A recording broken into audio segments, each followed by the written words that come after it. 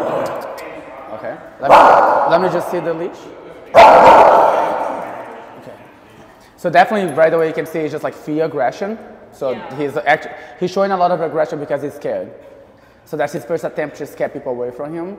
Uh, he is obviously also scared of dogs. That's why he does the same thing to dogs and people. Um, so what he's doing is making noise and then lunging because he learned to use that as a way to keep people away from him.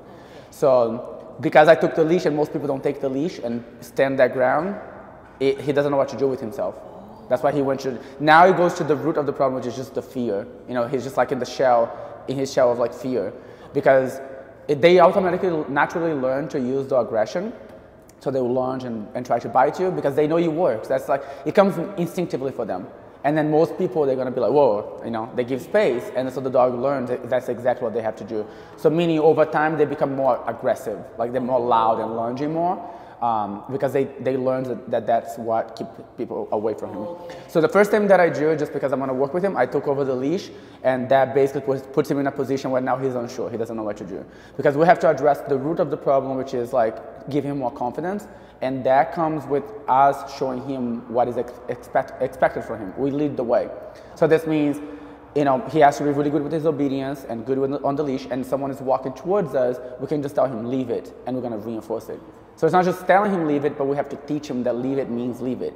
So when say leave it, come this way, sit over here, he will be able to follow directions. So whenever he's uncomfortable, you give him directions and then you introduce him to people and dogs the right way. Because basically it's showing him like, see, you don't have to be afraid of these dogs, you don't have to be afraid of these people, you don't have to fight, you don't have to defend yourself, everything's gonna be okay. So it's kind of like a two-step thing. First step, you get him under control, lead the way, and then second step is introduce him to people and dogs and teach him to be okay with them. Uh, so the first thing that I'm gonna do is just work with him a little bit on like his leash manners because I wanna make sure he's able to follow directions on his commands and everything and see where he's at. Uh, as of right now, it's a learning process for him. So meaning uh, he might be doing a little bit better and then he might get spooked again and get aggressive and get unsure. So that's all normal. I'm expecting anything. It's just because he stopped barking right now does not mean that he's comfortable with me, does not mean that the problem is solved. It's just understanding what, how the process looks like uh, for, for you and for him. So first thing right now is just, I'm gonna get him to come towards me a little bit. Come, let's go. He's kind of almost stuck under the chair. All right. So what you're gonna see now is a lot of uh, hesitation to come towards me. You see how he's pulling away? Because again, that's exactly why he shows aggression. It's okay. Shh. The, exactly why he shows aggression is uh, because he's afraid, and that's why he no longer wants to come close to me right now because he's petrified. Now, there's a couple things that we can do here. I can show you what to do and give you instructions, but I find that that route is not as effective because training is like any type of art if you're learning to sing or you're learning to draw something, it takes time and practice and hands-on practice. So the, the only reason I'm gonna get him to me right now is because I, it gets him to a better level with me where I can give him directions. He's gonna, this approach, putting him through his fear, he's gonna get more comfortable with me much faster than if I don't do it. And so once I have him next to me and able to follow directions from me, I'm able to pass that training to you. Otherwise, I'm just telling you what to do right now, but like I said, it just, it's a lot of information that you have to take on. So this approach here is just once he gets all the way here, let me remove him from here. It's okay, right there. So basically, when he starts, when he stops to pull away from me, because it's very against his will right now, he's very unsure of what's gonna happen. Right there. But then he's starting to process what's going on, like he's, he's not getting hurt, and that's literally him thinking like, what's gonna happen next. So that he's definitely very, very scared of what is about to happen. We'll go a couple different directions here. It's okay, come. Come. Yes. Come. Perfect. Good boy. It's okay. So he's almost like looking for comfort right now because he's so afraid. Now, in the long run, comforting him is not going to be the solution because it doesn't really justify the fear for him. Like it doesn't really show him that he doesn't have to be afraid. So now, this is basically what I'm saying. Like because he's seeing that I'm not going to hurt him, he can start to warm up towards me. So watch how he's following me now. And when I do pressure, come. I was like such a big, scary person, and then now I'm just someone that he can run up to because he knows I'm not hurting him. And it's only took like two or three repetitions. The method that I'm gonna show you, you're not gonna pass the leash to someone else because not everybody knows what to do with a dog like this, but instead I show you how to handle him. So the, the, but the concept of the training is the same, is you put him through his fear. Instead of him like being af afraid and being defensive, you're gonna take over the leash and say, no, let's go close to this person, nothing's gonna happen. But there's a certain way of how you're gonna do that, and that's what I'm gonna teach you today. So the first step is just this. Good boy. Let's just see kind of like how much he's retaining from the training. It's just repetition of me coming there and grabbing the leash. It's only the second time of me like coming back here into his space. Good. Let's go. Let's go. He's thinking about it a little bit. Completely normal, but he's giving it much, much faster than before.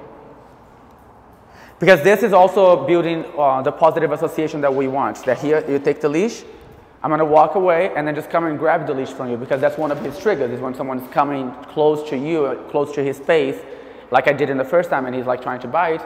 Now, when someone walks towards him and you pass the leash to me, it's not a big deal and he just walks. Because after, besides this, we're going to do more uh, repetition and add more people, more distractions.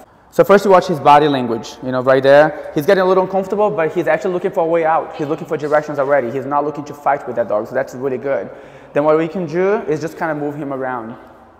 As the dog is walking around us, we're gonna keep him walking. And then just making it very neutral, you know, very neutral for him. Just like walking around, passing by the dogs.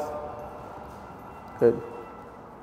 He's a little curious about her. That's all really good. He's like trying to go up to her, and we can, it's good for her too. So you can kind of like like you know let them see each other. Good job. Very good. Chanel. Good girl. Good. Sit. Yes. Come. Come. Come. So it was almost, he almost did it on his own. That was only the third time. Good boy. Come. Come. Yes. That was so good. Because facing is always more intense. So that was really good.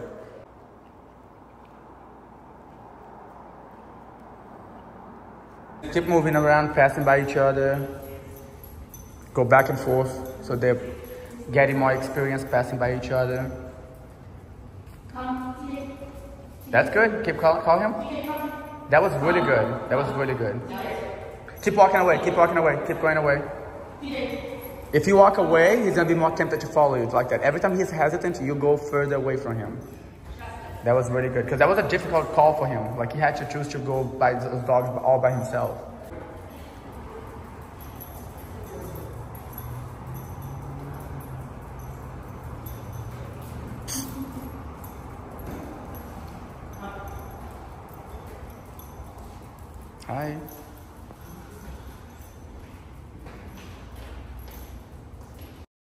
Okay, so like I was saying, the actual training is gonna be that now that he, you have the right tools and the right knowledge and you understand him, so let's say we're here and there's a dog coming towards us, you're no longer gonna make him feel like he's cornered and he has to show aggression. You're gonna get up, you're gonna tell him, nope, you cannot walk at those dogs, and then you're gonna lead the way. Come, let's go.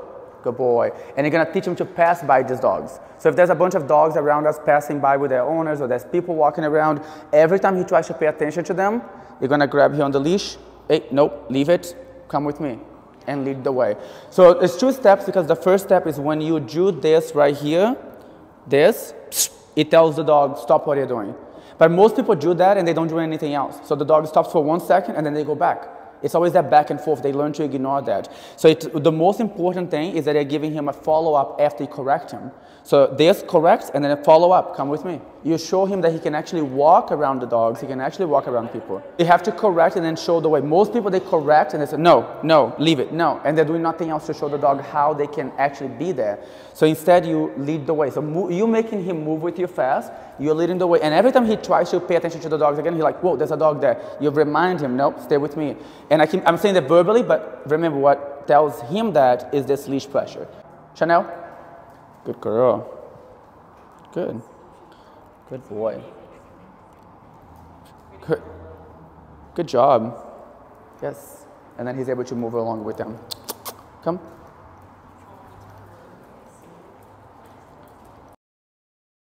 Okay. This is CJ. Um, he is a five-year-old dachshund pit bull mix that we got from the shelter in um, 2021. he's a very good boy. He just has a lot of problems with people and um, dog reactivity and aggression because of it's fear based. And um, coming here was really nice because um, seeing him walk around with other dogs is like crazy. Like, um, and then um, your dog was running around and he was doing well. And even though like obviously he still sometimes is defensive, um, I feel like more confident on how to tackle it now. And I'm gonna definitely keep continue what you taught us. And we came all the way from Los Angeles to Phoenix to get the best dog trainer. we see that you're, I mean, you're the best trainer. You know the tools, um, the techniques, the follow up, and we've never seen him um, as good as he is, and we've had him for two years. And we've tried to walk him. He, he would, um, before this, he would pull, bark at people, try and bite them, and then here, just walking around with the other dogs and all the other people. He's a changed dog, and we owe it all to your training. This is Shasta, and she's a rescue, and we've had her since a puppy. She's six years old, and she's a Dalmatian pit mix, and she's dog reactive. And so um, Dog Daddy was able to show me how to kind of walk around a dog and actually get her calm and um, not get her so nervous. And she was off leash, walking around other dogs and everything, and she did not react at all. So a big part of it, what I learned is um, just redirecting her and um, exposure to dogs is the biggest thing.